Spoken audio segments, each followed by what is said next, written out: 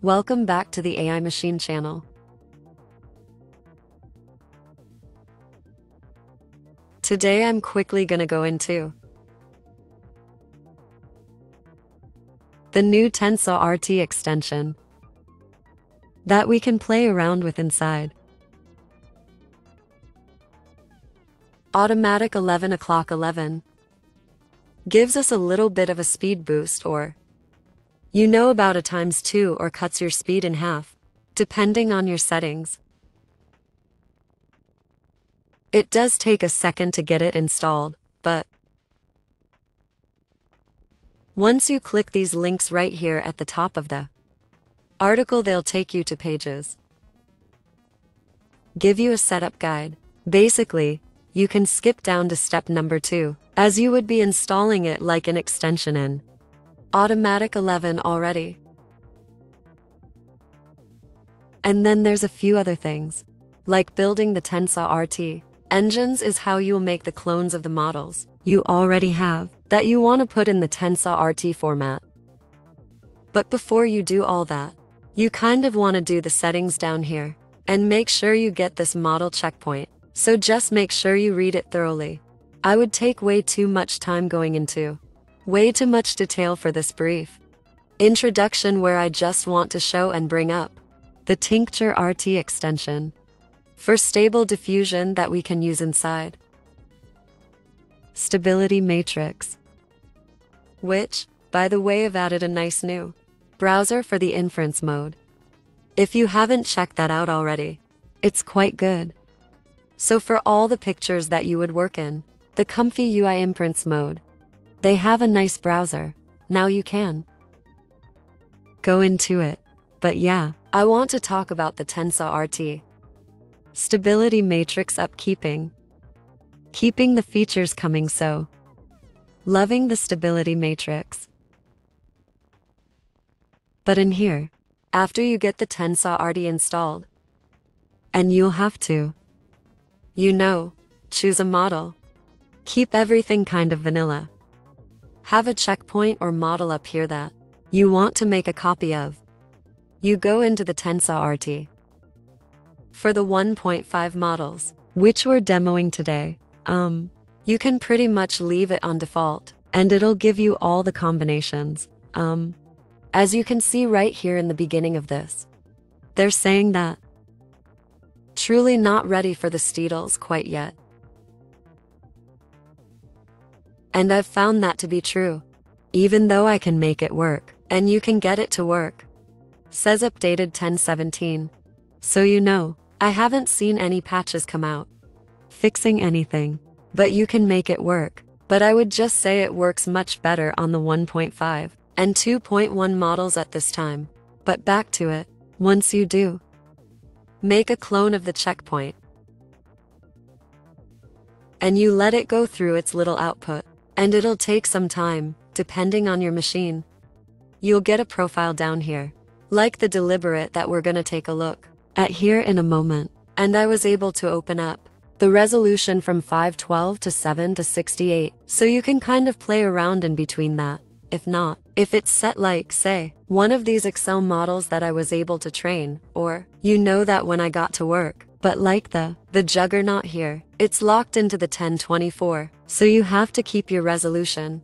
You can't move around and change it to a portrait or landscape. You have to kind of stay within that resolution. Once you do get the model trained, so these are just the profiles after you have trained. And like I said, the 1.5 models that I've messed with seem to work the best, and they're the easiest to show off the speed increase.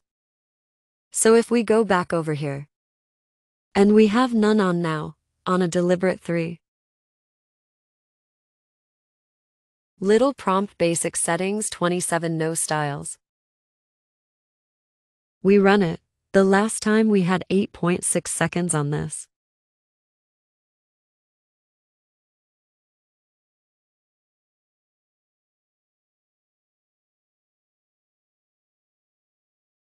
And we've got 8.9 seconds on this.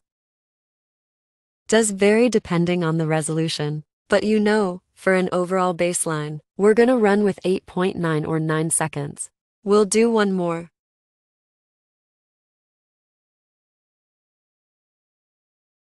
And this is without the RT. Okay, 8.9 seconds again.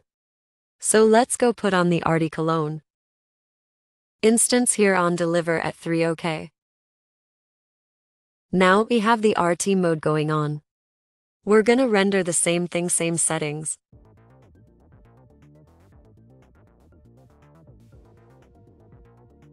On the first load it, it does kind of take a second longer to switch but okay. So 10 seconds yeah. It was slower than the previous Nun RT, but let's give it another shot.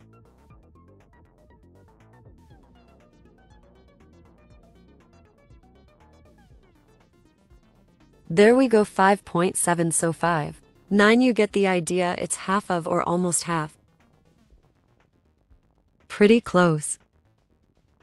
Yeah, it's pretty nice nice image there. And we are running with a 1.5 models. But let's hit that again. Let's go to the third because, yeah, it takes I guess like the second or third, just to get it kind of primed up to where it would be, giving you the speed benefits of 5.6.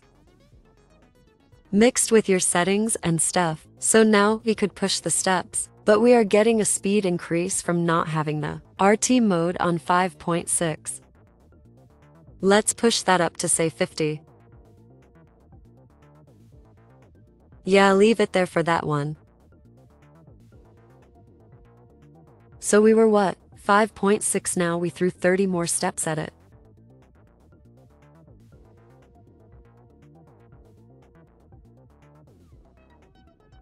And we're at 12.4. So we're gonna switch it off again. And we'll leave the 50 steps on and hit it with that non-RT configuration. 12.4 is what it has time to beat. And I think with a lot of the NVIDIA stuff that gets installed with the toolkit, it helps overall. The performance of your setup. Obviously, in RT mode, you're getting a bit of a boost. So 21.4, let's try again.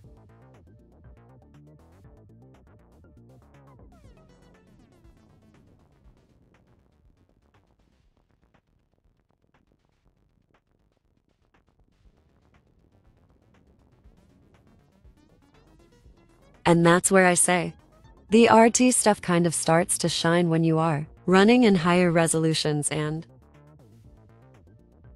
higher steps.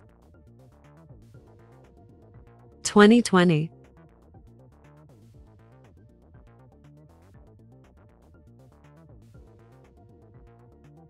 Like I said, this is a 1.5 model.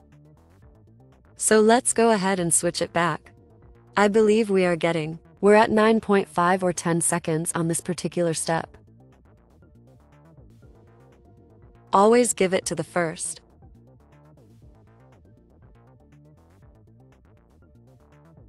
It kind of gets into RT mode, so it's probably a little slower on the first, after you switched over. I haven't said that 15 times yet like 16 seconds, so it's still faster than 20 seconds but now let's go.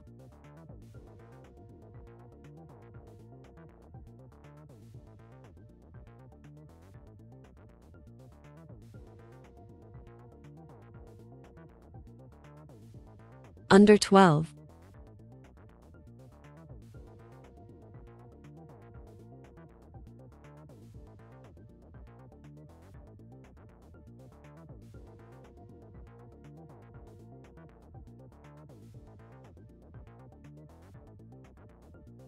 Yeah, and that's with 50 steps so. The other one was 20. This is 12 so you can see about you know. 40% almost 50% speed of double the time. Then you could slam just 100 at it. Think I had it. Like 14 seconds when I was doing this earlier.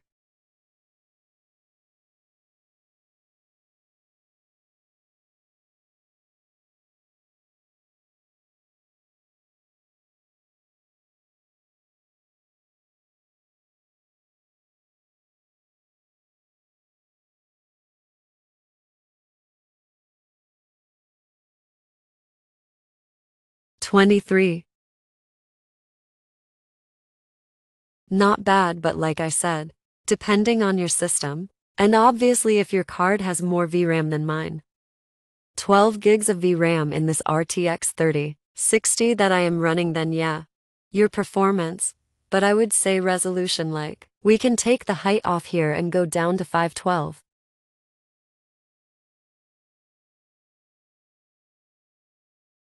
And run it and obviously, you know the lower the resolution, the lower amount of steps, you're gonna gain more feedback.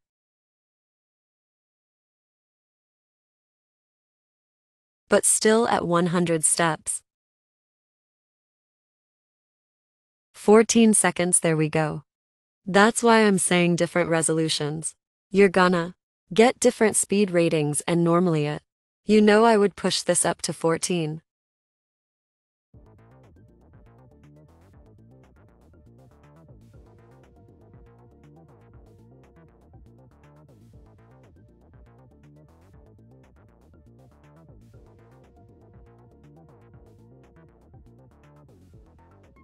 Fourteen right there even pushing up the CFG.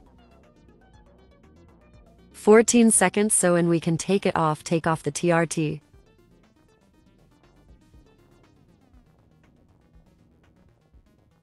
And so you can see it's gonna differ. Depending on your settings.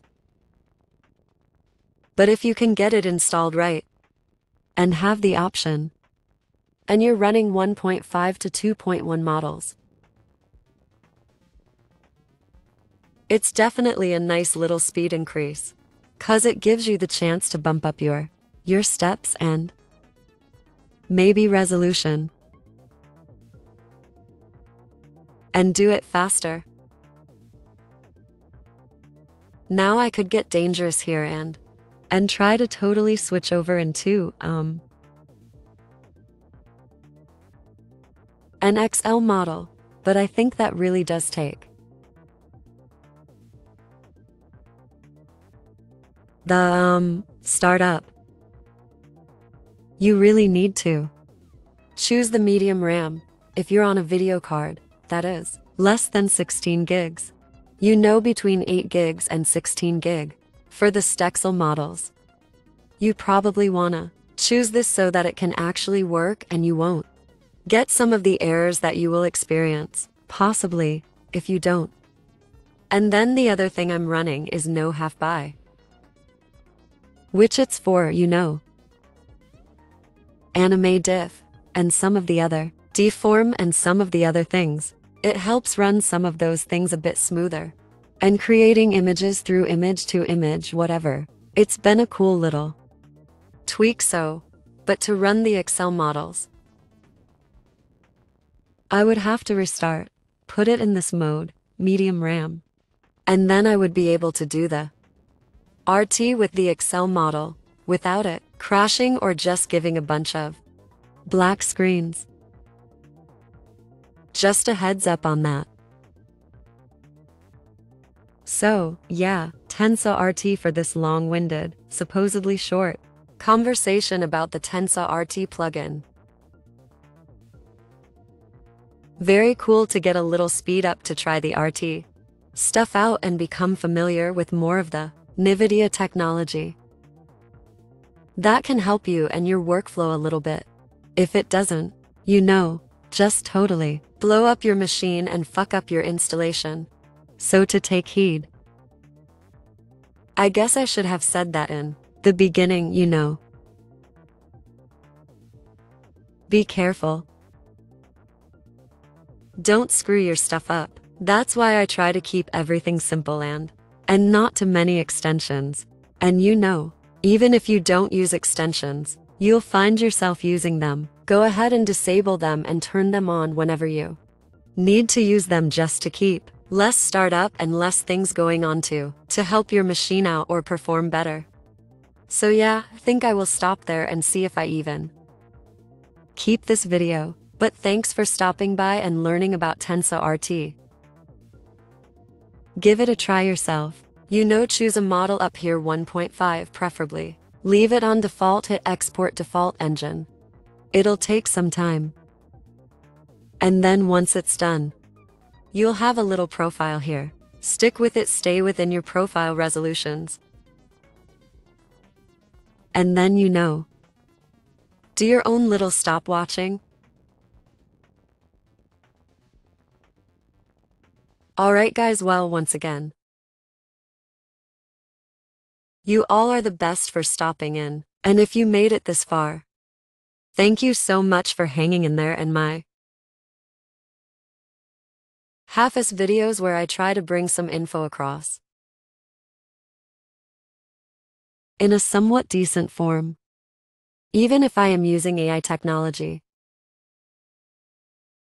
It's all about the fun, right? Till next time, stay safe.